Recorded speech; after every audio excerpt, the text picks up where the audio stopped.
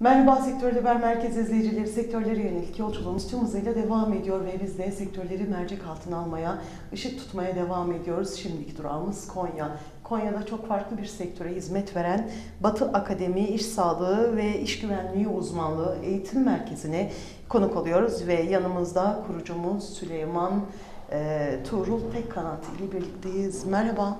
Merhabalar, hoş geldiniz. Hoş bulduk. Nasılsınız Süleyman Bey? İyiyim, teşekkür ederim. Siz nasılsınız? Sağ olun, biz de iyiyiz. Şimdi e, Batı Akademi İş Sağlığı, İş Güvenliği bir merkez. Evet, Aslında eğitim veren bir merkez burası. doğru.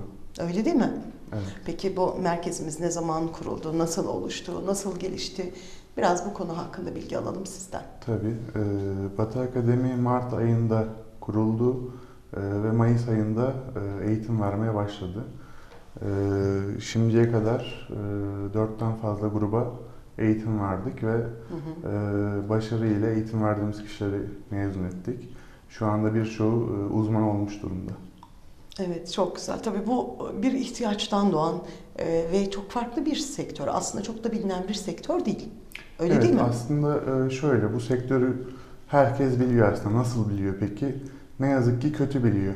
Şöyle ki her gün haber kanallarında ne yazık ki e, acı haberlerle karşılaşıyoruz. Birçok iş yerinde iş kazaları gerçekleşiyor ve birileri hayatını kaybediyorlar. Hı hı. Yani insanlar bu yönüyle biliyor. E, Peki bu sektörle alakası ne? Şöyle ki e, biz o haberleri elimizden geldiğince azaltmaya yönelik insanları bilinçlendirme ve eğitim çalışmalarını yürütüyoruz. E, Bizim verdiğimiz eğitimle e, resmi, gerçek bir uzman oluyor kişiler. Ve bu şekilde e, firmalara gidip bu duyduğumuz acı haberleri elimizden geldiğince, olabildiğince e, önüne geçilmeye çalışılması amacıyla son Hı hı. derece dikkatli bir şekilde e, orada titizlikle çalışmalarını yürütüp e, bu kazaların önüne geçmeye çalışıyorlar aslında kısaca bu. Evet, aslında burada verilen eğitimlerin hepsi tamamen insan sağlığı adına e, en aza indirgemenin e, çalışmalarını veriyoruz, eğitimlerini Evet. veriyoruz. Öyle değil mi? Öyle, evet doğru. E, şimdi burada e, burada eğitim görüp uzman olan kişiler e, firmalara gidiyorlar ve her sektörün e, ayrı dikkat edilmesi gereken noktaları oluyor. E, insanların orada çalışanların e, dikkatsizlikle yapıp hayatlarını kaybedeceği şeyleri önüne geçmek için aslında bir nevi devletle ortaklaşa yürütülen Hı hı. bir çalışma diyebiliriz. Evet ve çok da önemli bir çalışma. Son derece hayat E, söz konusu. Evet, gerçekten de öyle. Tabii burada verilen eğitimler sadece bir tek sektörle ilgili değil. Bununla birlikte birçok e, branşta eğitim veriliyor. Bu branşlar neler? Biraz bunlardan bahsedebilir misiniz?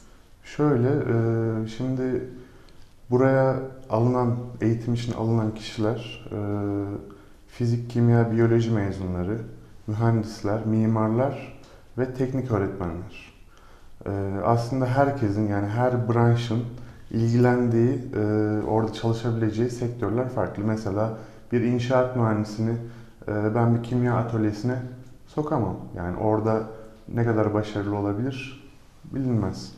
Ee, ama şu an ciddi bir açık olduğu için ve ihtiyaç çok büyük olduğu için şu anda ilk etapta bu açığı kapatılmaya çalışıldığından dolayı da Hı hı. e, bütün uzmanlar, bu saydığım uzmanlar, kişiler e, bütün sektörlerde görev yapabilmekte.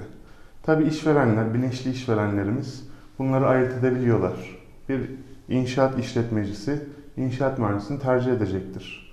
Hı hı. Ama e, öylesine bir iş yapmak isteyen, sadece prosedürler yerine gelsin yapmak isteyen birisi bir biyoloğu da inşaatta uzman olarak görevlendirebilecektir. Halbuki ya- yanlış bir şey. E, Tabi bu zamanla devletimizin de önüne geçeceği, alacağı önlemlerle e, düzenleyeceğini öngörüyoruz.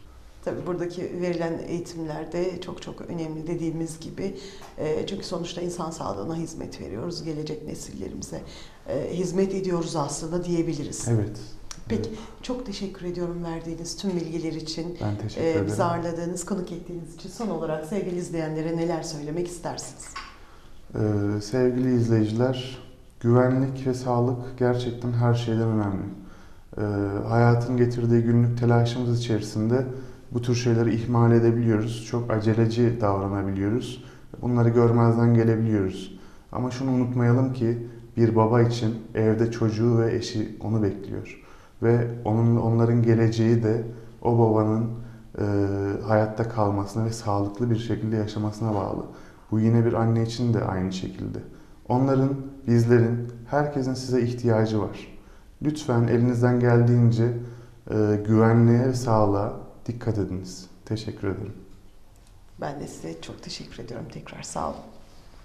Evet Sektör Haber Merkezi izleyicileri Batı Akademi İş Sağlığı ve İş Güvenliği Uzmanlığı Eğitim Merkezi'nden Konya'dan aktaracaklarımız bu kadar söz merkez stüdyolarımızda.